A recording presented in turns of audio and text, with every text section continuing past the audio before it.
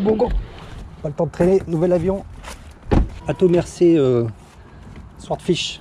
Il est 16h56 et le soleil se couche à 17h07. Donc il me reste 10-12 minutes pour faire le premier vol. Je vais faire qu'un seul vol ce soir. Demain je ne serai pas disponible. Après il pleut. Donc c'est maintenant que jamais. Une seule batterie. J'ai pas pris d'outils. Donc euh, il faut que ça marche. Un seul jeu d'hélice.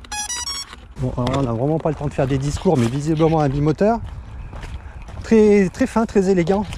Hein, envergure 1m20. Donc on va je suis vraiment en configuration minimum. Là, j'ai les antennes courtes et tout, qui est court. J'ai pas de boîte à outils, j'ai pas de scotch, je n'ai pas l'ordinateur. Si jamais on a un problème de configuration, quand même prendre 10 secondes pour mettre une caméra au sol. Toujours avoir les, les lancers au cas où il y a quelque chose qui se passe mal. Prendre quelques secondes pour vérifier que les vient soit à l'endroit quand même. On monte, on descend, on à droite, on va à gauche.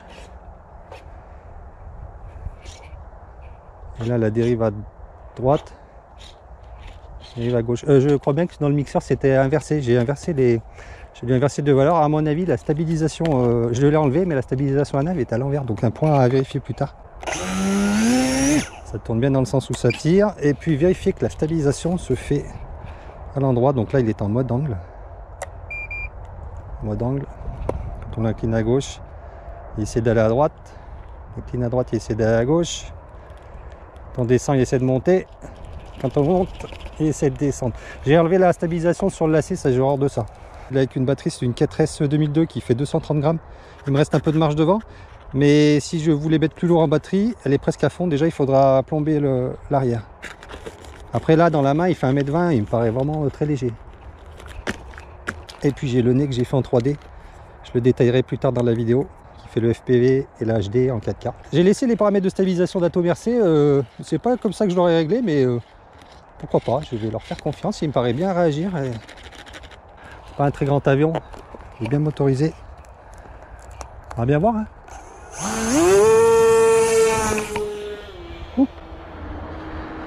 Très très nerveux les, commandes.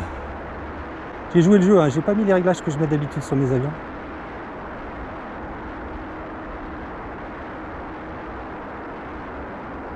avance bien, on va, se calmer.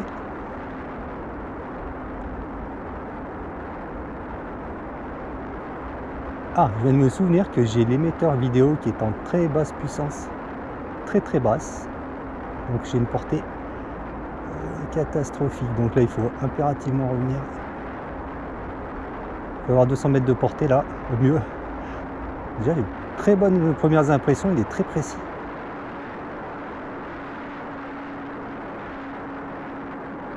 je, le brusque involontairement en angle. j'ai déjà presque plus de vidéo. Je suis passé derrière les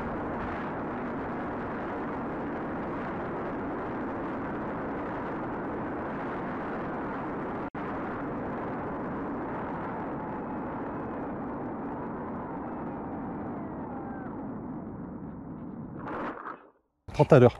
Il n'a pas décroché.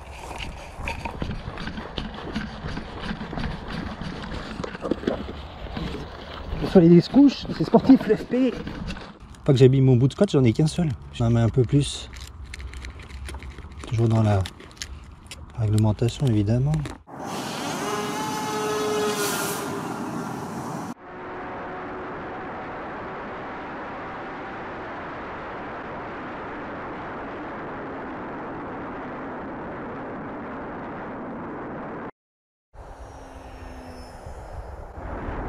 Très bien, très bien. Et très sécurisant. Là, il y a une petite brise qui secoue quand même. Euh, c'est pas une tempête, mais il y a un petit peu de vent. Il réagit bien. stabilisation, elle fait ce qu'elle a à faire. les premiers vols, là, je suis déjà en confiance. Ça volait pas très très vite. Que ça va être un avion amusant. Je vais essayer de buzzer un peu ma caméra là qui est là-dessous. Je l'ai posée par là. Où est-ce qu'elle est?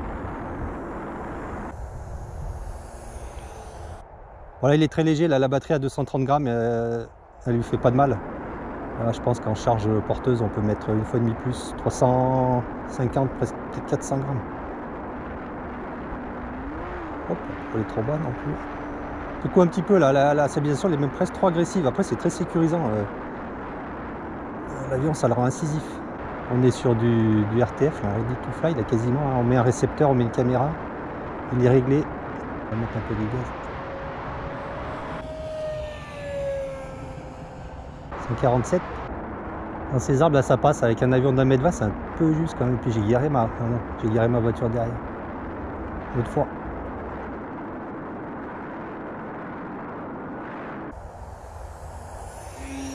Tester les fonctions de navigation. Là on va le mettre en mettre cette position d'altitude.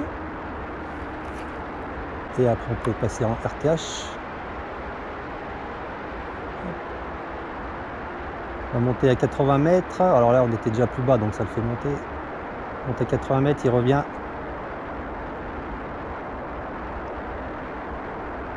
Il va spiraler. J'ai dû le régler à 40 mètres. Normalement, il va descendre. Alors, landing, c'est un grand mot. Landing, il va descendre d'abord à l'altitude intermédiaire que j'ai réglé, qui est 40, je crois bien. Et après, il va continuer en spirale jusqu'à ce qu'il touche le sol. De façon aléatoire. Donc on va pas le laisser faire ça. Et puis j'ai la vidéo qui marche très mal. J'aurai un émetteur vidéo à remplacer. J'avais un doute sur celui-ci et en effet il marche pas. Le but du jeu c'est de le poser dans l'axe de la caméra. Ici, ici, ici. Un peu trop long. J'ai droit à une deuxième chance.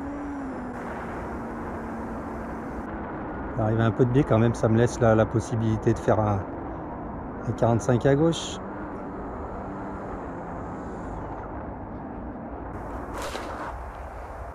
Très bien.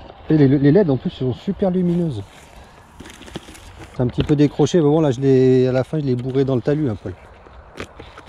Ça tient avec des petits des petits crans là comme ça. Faut, faut presser fort ici. Donc ça risque pas de partir en vol. Un bon système.